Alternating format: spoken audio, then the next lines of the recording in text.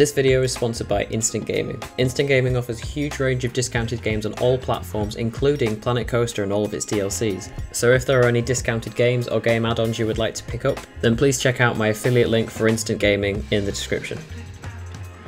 This is a video that I've been creating for quite a while now and a video that I've wanted to create for quite a while. As I'm sure you'll already know if you've watched my stuff before, but creating realistic coasters is basically what I do. Even in park series, one-off coaster videos or the challenge videos, I try to make my coasters as realistic as possible. And with that has obviously brought along a long list of comments on pretty much every video that I do, asking how I do certain things to make the coasters realistic. So I thought I would just make a dedicated tutorial on how to make a realistic realistic coaster in Planet Coaster. This video will be the full complete tutorial you need to make a realistic coaster where I'll be going through the 4 meter methods, smoothing, different elements and transitions, custom supports, transfer tracks, backstage area and many other things. So let's begin. So the first thing I'd look at with your coaster is the layout. Specifically, who is it for? Like, what's the intended audience? Is it for adults? Is it for kids? Is it a family thrill coaster? Working out your intended audience is probably one of the most important first steps you need to do when looking at how to design your coaster. Then the next thing I do is look at some inspiration. This could be from visiting actual parks, looking on Google, looking on RCDB, looking at what other creators are doing on Planet Coaster, just to give you as much inspiration and ideas as possible to make your layout for your coaster as interesting as possible.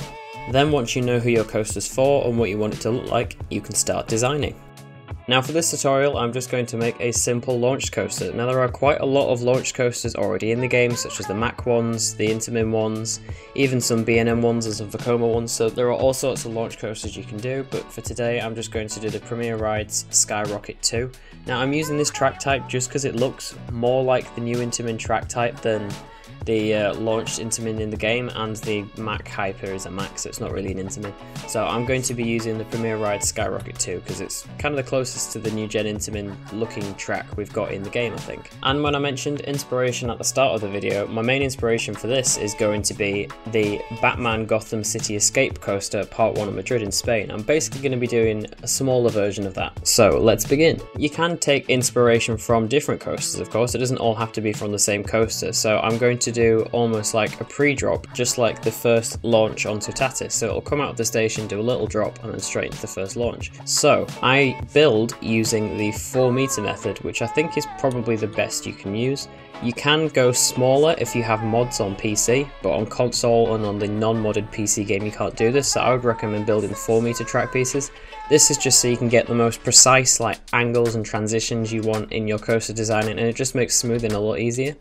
So I'm going to bring it down just out of the station like this, and bring it down a bit more steeply and then flatten it off at the bottom. And I'm also going to turn the supports off because later in the tutorial I'm going to show you how I custom support coasters so the supports are staying off on this one. Then the next thing I'm going to do is add the actual launch section and then I'm going to put in uh, the launch track pieces. I'm going to add I think just three of these and then you can select the whole track piece set and set the speed. I'm going to put the speed around 50 and then the acceleration about 8. And then one of the best things you can do when you are designing a coaster is to test it. If you keep it in test mode for the whole time, you can just see what it's doing and obviously check on the g-forces. So g-force is looking pretty good, it accelerates to pretty much bang on 50 miles an hour, which is exactly what I wanted. So after this, I'm going to go back to the 4 meter track sections and I'm going to build a kind of Batman the Ride uh, Parque Warner Madrid style top hat, where it's going to come into a top hat but be a beyond vertical drop. So I'm going to bring it up um, only slightly. And then because I want this coaster to be realistic, from this section on I'm going to have the banking offset turned on. This basically just means that when you're banking the coaster, it banks one meter away from this center point. Whereas if I just turned it off, it will bank just around the center of the track instead. Whereas if you bank it Whereas if you put the banking offset on a meter, it banks a meter away from the center of the track. This is just so that heartlining, which is like why a heartline roll is called a heartline roll, is because the center of rotation is where the rider's chest is, where the heart is. Heartline roll, that's why it's called that. So you need your banking offset on one to make it more realistic and basically just more comfortable for the riders, because if the ride experience isn't comfortable, then it's not going to be a particularly enjoyable coaster. So I'm just going to bring this section up gradually like this. I don't really want this ride to be too tall, because it's kind of a smaller coaster anyway. So I'm going to bring that up pretty much vertically, like this. And then I'm going to start spinning out. Start bringing this back down. And now that is flat on the top. Bring this down a little bit more. As you can see, because it's in test mode, that comes over the top at a pretty much perfect speed. And then you can just bring it back down. And as you've probably noticed, it has crashed straight back into the launch straight, but I've done that on purpose. I'll show you why in a second. But as you can probably tell, this isn't the most well profiled thing in the world, but you can edit it afterwards, so I'm going to give this a bit of smooth.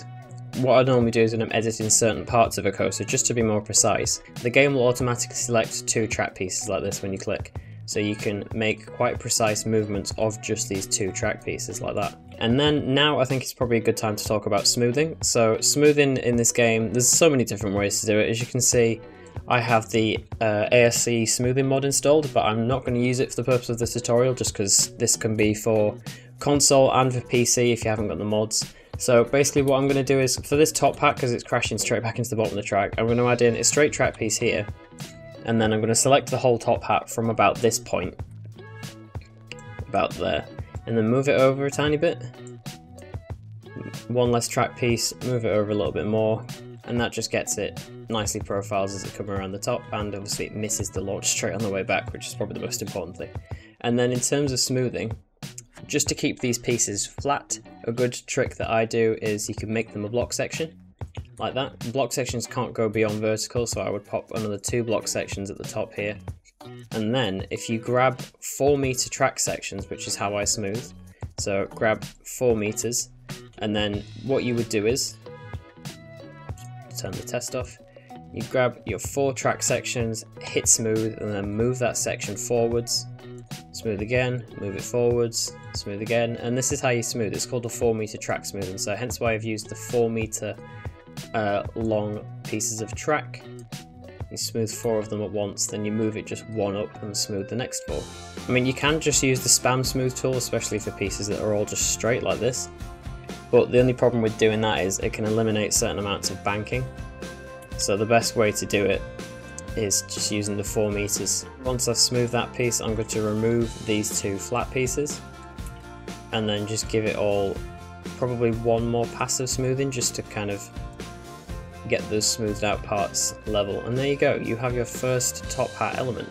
The shaping isn't perfect, I might go back and edit it a bit later, but it's it's definitely uh, usable. So obviously you can test it straight after this just to see what your g-forces are. It's mainly the vertical G's you want to look at when you're doing like big height changes like this. So it gets over the top with pretty much perfect speed. Um, let's have a look at the G-force when it gets to the bottom of the top hat. So it is it goes up to about 6, which isn't ideal. 6 is quite high. So what I'm going to do instead is if I reduce the friction a little bit and put it on about 0.7, then I can reduce the height of the top hat. Just like this. Smooth that. It shouldn't need as powerful a launch to actually get up there. So I can reduce the power of the launch so the g-forces I think are still a little bit high, so what I'm going to do is I'm going to delete this launch section. So I've moved the launch section back a little bit, and then what I'm going to do is start bringing up the track a bit sooner for this, which will probably actually make the shaping a bit nicer. And then obviously you can go back and smooth this out.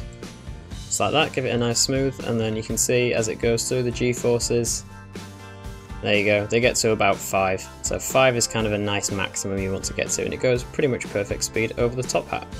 If you're wondering how I got the shaping for this top hat, I just quite simply have looked at the Batman coaster that much. I've, uh, I really like the coaster, so I've became a little bit fascinated with it. So if you just look at the reference photos enough, or even have a reference photo like next to you on your phone or something, then you can cross-reference it as you're building it to make sure that you're getting the uh, transitions and the shaping all correct. Okay, so we've got our first major element in. I think now we should probably add some sort of big airtime hill sort of thing to like turn it round because I'm kind of thinking do a simple L-shaped layout just to keep things well simple. so I'm gonna bring up a little bit something sort of like this. It's nice, snappy kind of Intamin style turns, and then this is kind of like creating the start of this L-shaped layout I was on about. And that's kind of like the basic shape of this snapping airtime hill sort of thing. I'm going to bring this out a little bit. Then you can just do the same as before by keeping the flat parts that you want to stay flat as block sections, smooth, four track sections at once, move it forward. So you can do another smoothing pass once you have removed all of these pieces. And then at the top of this, I am just going to bank this a bit more. Because obviously, as you know, when you smooth it, the banking kind of gets taken away, doesn't it? There you go. So there's your kind of turnaround piece. Give you a bit of airtime going into it and then a snap on the exit of the element.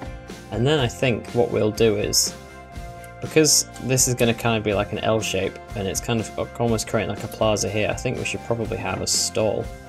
So the best way I have found to make these is make sure that that is perpendicular to that, otherwise it's going to annoy me. um, the best way I've found to do these is to bring your element up like this. Then obviously you've got your banking offset turned on. I turn on angle snap just for this specific element. I wouldn't normally. Like that. And then once it's at 180, like this, I normally put two kind of 15 track pieces, two flat ones, and two more 15 ones. Then you can start to bring it back down again. Then what I would do is I would take this top piece of the five pieces you put in, the two 15 angled ones, the flat one like that, and then smooth this like that. And then just to kind of know that you want that bit flat I would put it as a different colour just for the time being. It's a good way to remember it because you can't make this bit flat with the block section because it's upside down. And then if you make this bit flat here with the block section and you can grab your four track pieces like last time smooth it move it along smooth it and then again I would do the same on this side so smooth one up, smooth, one up. Obviously you can do multiple passes of these smooths. I would recommend definitely doing that. And do the same smoothing pass again, but without obviously the block sections being there. And then I would probably go on to the first section of the stall, maybe even the second one, just like that. And then do the same on the other side, so go four, smooth. And then obviously the best way to uh, test whether you, what you've done is alright is to just ride it. So you can put it in um, front bumper view to give you the smoothest ride. So it comes down the beyond vertical drop. Nice snappy airtime hill turnaround.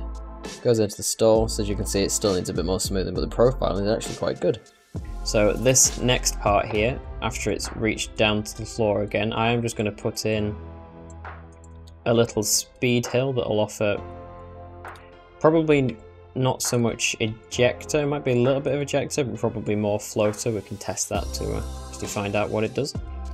See the banking offset is still on, no it's turned itself off. uh, it's going to come from that into wave turn stall sort of thing.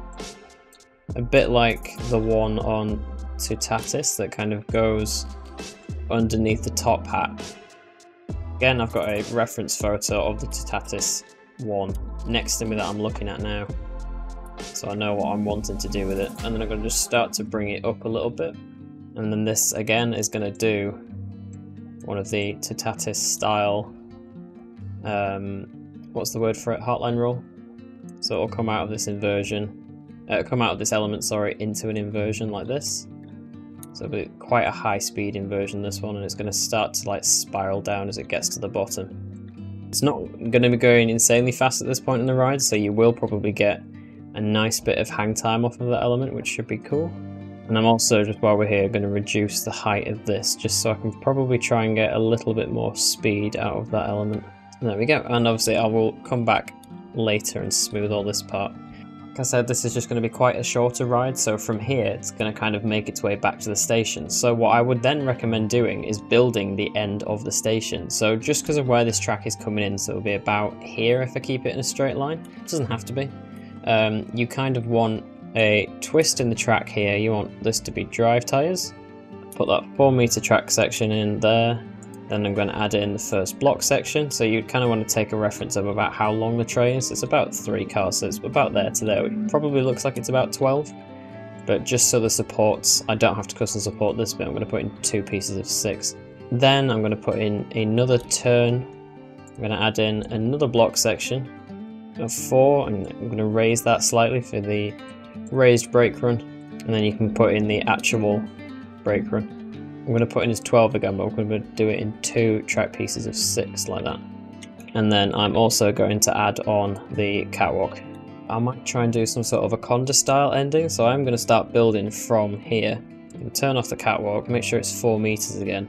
And I think I might do like an inversion into the brakes, like kind of a slow one. So if it starts to come around like this, this is actually what Kondaa was meant to have. It was meant to have some sort of like a Velocicoaster style Mosasaurus roll into the brakes, and then it they uh, opted for having the airtime hills at the end instead, because obviously the rest of the layout didn't have any inversions. It would have probably been a bit weird if just one random inversion at the end of the ride. And then from here I've kind of got a bit of choice, so I think I might probably do another airtime hill here.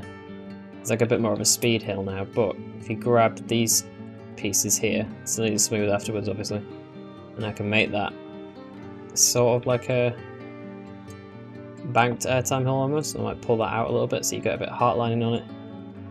And you can go back and smooth that and you get sort of a nice transition into that final version because it banks out this way and then comes into banking out that way. That's something that I should probably mention actually. Just in terms of flowing for elements, you want your banking to kind of flow as well. Keeps banking the same way, then pauses, and then keeps banking the same way. I don't really know how to explain it, but like this starts to bank round as if the um, center of rotation is spinning anti-clockwise then it goes over this airtime hill and then still keeps going anti-clockwise. It's kind of just about flow of elements. That's a good way to put it.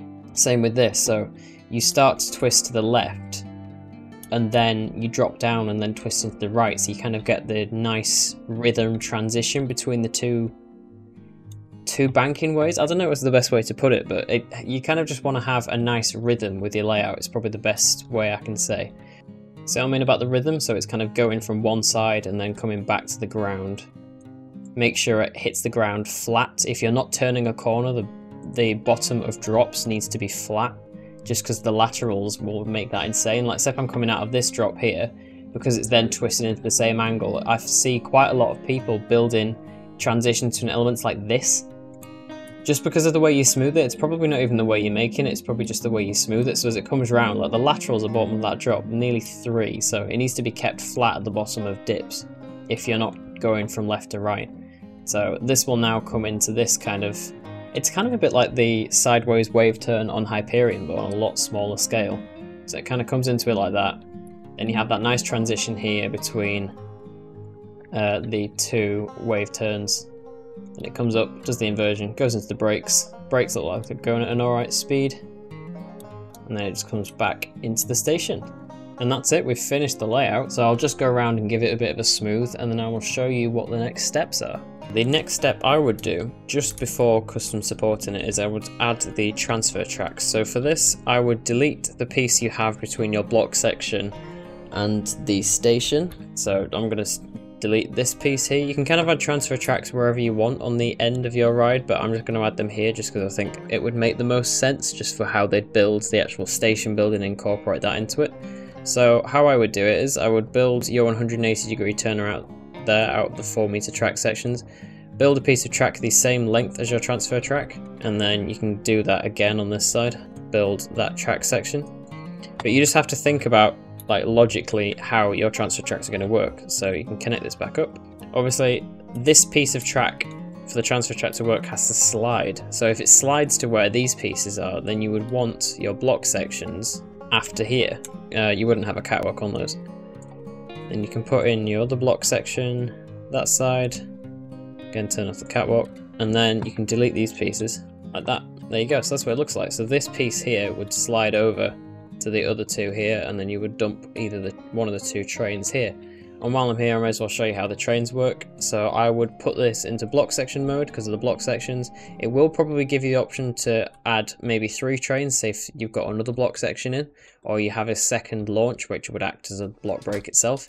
But since this one only has the one launch, it would probably just have two trains and to make sure that they don't get stuck on launch I would probably put this about 45 seconds obviously you can test it so that is the minimum departure interval which basically means it can't depart unless 45 seconds has passed so we'll see how that kind of works out this one just pulls back in and it's still waiting for that one. So I would mainly maybe reduce that to 35 and see how that works. Speed it round again. You wouldn't really want to go any less than 35 or 30 because that is still like really good operation. So it pulls back into the station. There you go. So it pretty much is perfect. I'd leave it on about 35 then for the sort of layout. Obviously longer coasters might have longer ones or shorter ones. You never really know. You just have to have a mess around with it. But you just have to realistically think like how long would it take the ride ups to get all the guests off, open up all the restraints, get everyone on, and then check the restraints. Like 35 seconds is probably the shortest you would ever be able to do this in. But yeah, good operations for the coaster. So now we're going to talk about custom supporting, which for some reason on PC is under buildings and walls, under framework.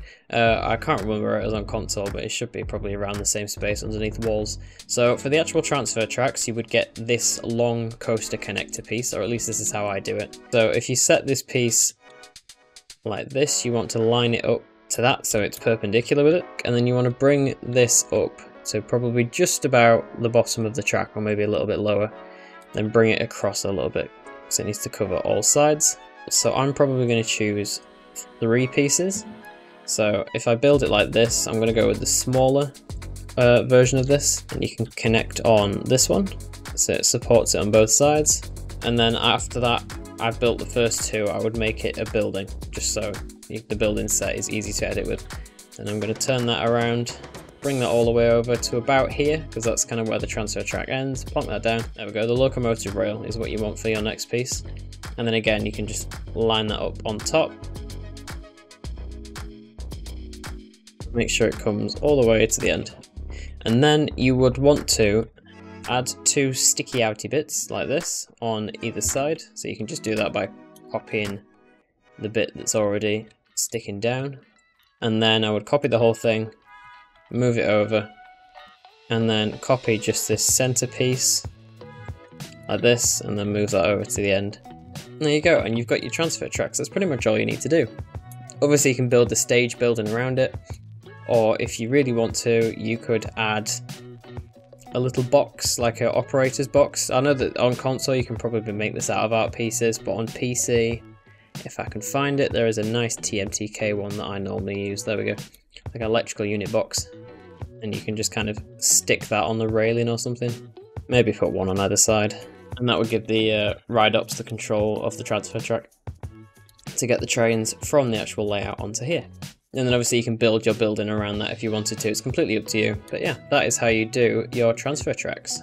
This is obviously kind of styled after an Intamin coaster, so I'm going to be uh, custom supporting it as if it is an Intamin.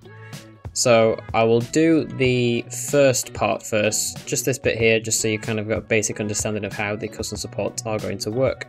So you want one of these for an Intamin. I'm going to colour all the supports black as well.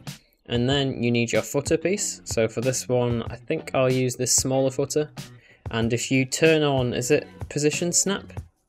Yeah, if you turn on position snap or align to surface, you can snap it on the bottom like that. And then just obviously make that the same color just for uh, continuity. And then just like the transfer tracks, I would make that a building just so you can keep up with it a little easier. So I will put one just here, which is in the center of the track just like that. I would move this down to about where you want it to be, and then the connector piece I would use for an Intamin is this coaster support connector here.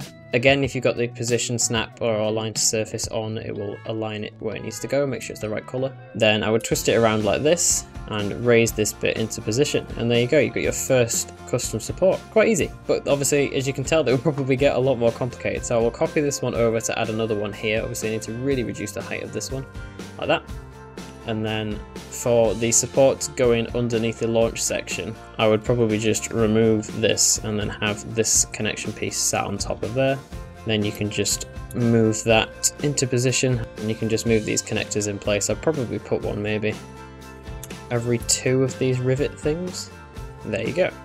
And then this from this point is probably where the supports get a bit complicated. So I will add another support um, just about here and then one of these needs to come over to about there and then you can start to support the main bit. So because of the pressure here, you kind of need to imagine it as if you are looking where the forces are going as you are supporting it. So I will add in a support here, but the support for this, when you think about the train coming over it, the support isn't going to be going directly into the floor. It's mainly going to be going kind of outwards like this. So if you add like another support here, put another footer in, and then you need this piece called a flange.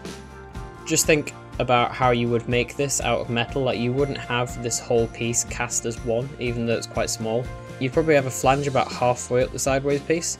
And then again, just as it starts to get up the main type of the top part, I'd probably copy that over, bring it up, and as you've probably noticed, it's not going to really work with this support here, so I would just move this support down and that way, which you'll have to move the flange for as well, and then move that so that it connects on the end of there. Because think about where the forces are going, the forces, especially at this part even more so than there, are going to be going outwards down this way instead of like directly downwards. So you can kind of move that back over, add in another support going down, keep that one going to the floor, and then add in your footers like that. Continue the theme of weird looking supports, is probably the best way to put it. Um, I'm going to build a support coming upwards, sort of like this, that will get to about this point of the ride. And then the rest of the top hat will be supported from inside this part here. So if I add in sort of this piece, like that, add in a connector piece, I think this would probably be called, at the top, move it back a bit, then you can stick on your coaster connection piece, move that down a little bit. Most of this is just kind of trial and error just to see what works. The whole thing back towards the coaster, like that because when the track actually comes you would probably have this connection piece already like welded into part of the body of the track and you can just stick a flange there which is what would connect it to the actual support and then from this piece you would probably have one going downwards like that from there forces that will be pushing back this way and the forces as it was turning upwards to be pushing down this way so it supports both of those then in your footers at the bottom and then just because of how long these track sections are, I would probably add some flanges about halfway down. And then you can kind of make it even more secure if you wanted to, like even more strong, and add some uh, pieces that connect the track supports together, sort of like this. So I might add this one here, and then if I copy this one with a smaller track section like that, and I can connect the two of them, and then just to finish it off, obviously because this all wouldn't be one big cast piece, I would add a flange that would connect this part to that part. And then you would probably have two flanges about here that would connect all of those pieces together. And as jank as that looks, that is probably what they would do. Like if you look at the uh, supports for Velocicoaster's top hat or the Batman Ride's top hat, they all do look quite jank, just like this. So that is definitely viable. And then to add in the support for the actual peak of the top hat just here. The top normally wouldn't need it, the track would normally support itself because there wouldn't be much forces going on at the top, but as it starts to come down the drop, I'd say probably around here, you would need your first support in, and then this section might actually angle down a bit like this. And you can bring this section if you want to down to the floor, which you would probably have another one about here, connecting it to the ground as well. So you've got two of them supporting it vertically. And then because of how tall this actual tower almost that you're creating of supports is, I would add in another one of these sideways ones off of this side. Sort of slot that into place like that. Make sure it's not sticking out awkwardly on any of the sides. And then obviously I would go back to the top of this and add in all of the cross, like the cross section, cross tie pieces to make sure that it is as strong as it needs to be.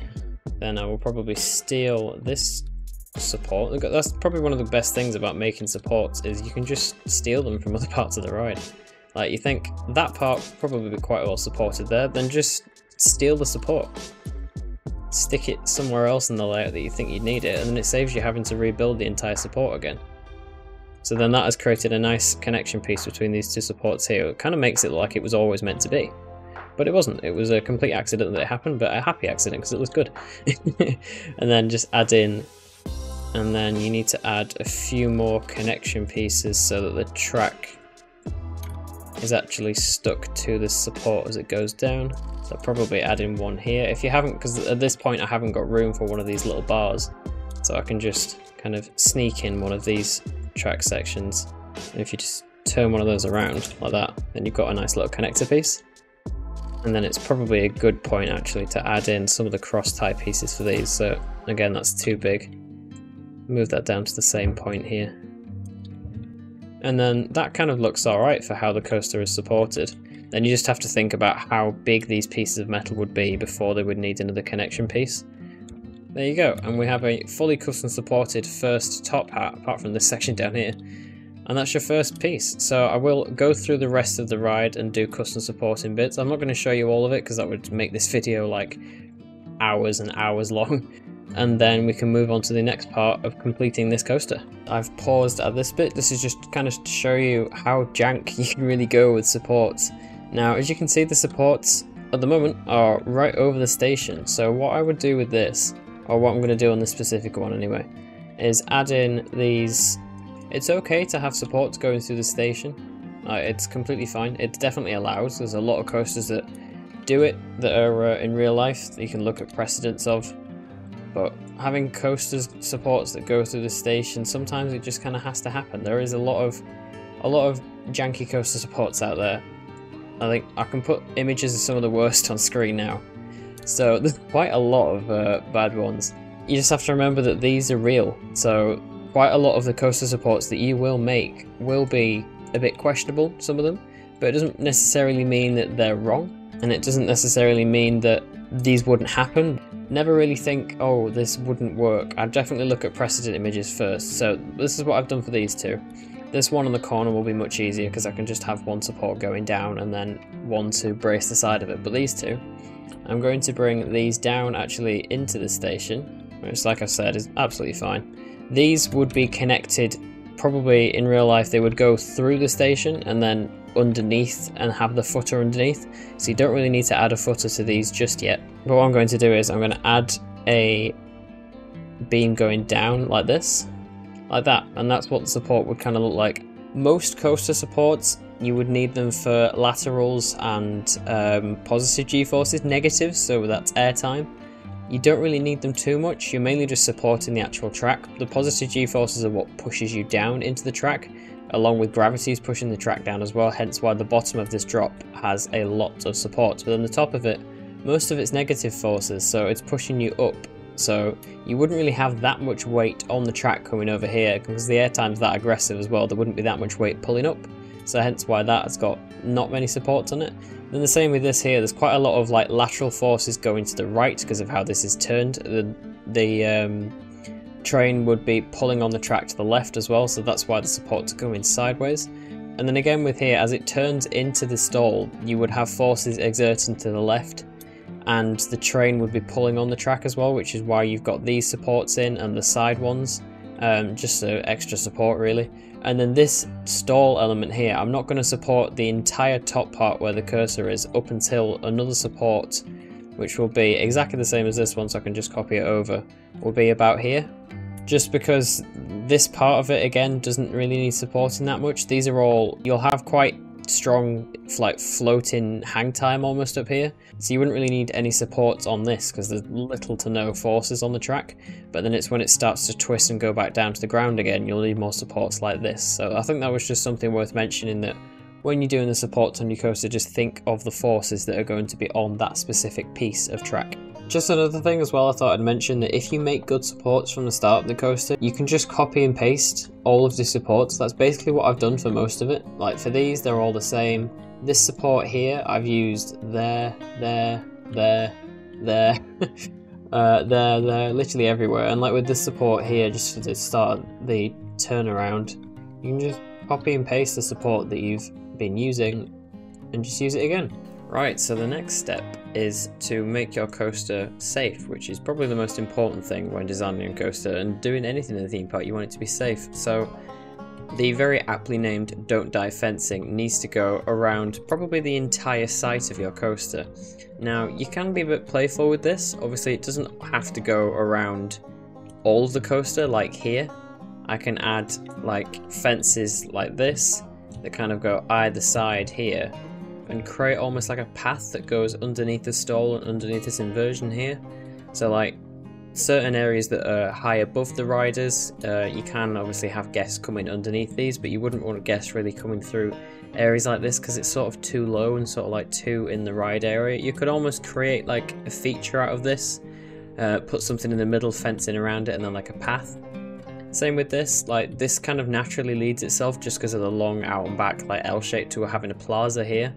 But then you would want fences all down this side and all around the first launch and just basically the entire track. So it blocks off uh, any access to people and just makes the ride a lot safer so no one can get any access into the area. Right then, once you have added the don't die fencing all around your coaster layout, as you can see I've kept this little cut through here just to show you what you can do with it. You can be quite creative with it. It doesn't have to be as aggressive as this, like going, like leaving a bit of ride area around it. It can go quite close. And I'll put some images on the screen now of different uh, ride uh, safety don't die fencing that I've done in different parks that it's actually themed. It doesn't have to be just all this like boring um, chain link fencing. It can be loads of different things.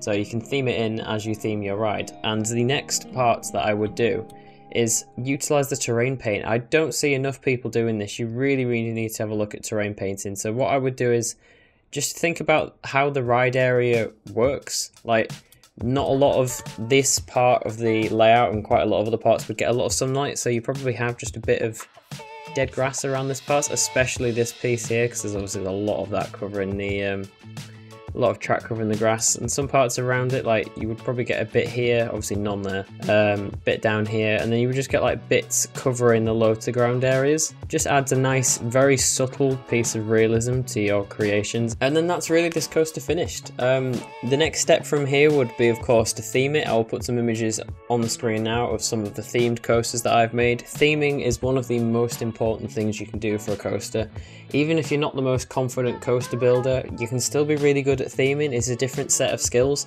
Some people are better at building realistic coasters, some people are better at theming. I'm definitely more on the realistic coaster side, but that's just because I'm a big coaster nerd.